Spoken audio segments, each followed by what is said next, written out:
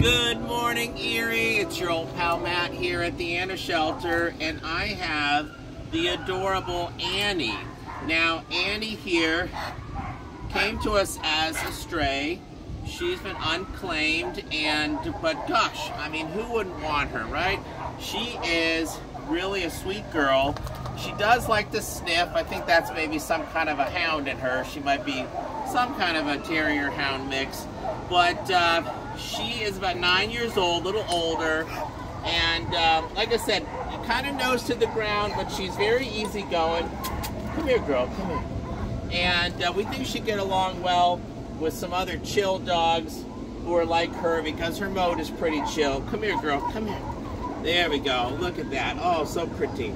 And uh, yeah, but because she's a little bit older, we think if you have older kids in the home or just adults, because maybe little kids uh, might be a bit much for her.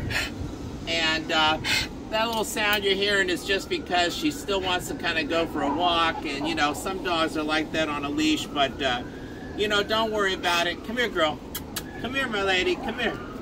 Come here. She is just the sweetest and uh, needs a home as soon as possible. So if it's you or someone you know, uh, like I said, I think she gets along well with other dogs. Cats, we're not sure. We can always do a cat test for the right person. And uh, yeah, just visit us today. Remember, longer hours on Wednesdays, noon to 7. And uh, come in as soon as you can. You know, the weather's going to be nice. Come on out, visit us, uh, spread, help us spread the word.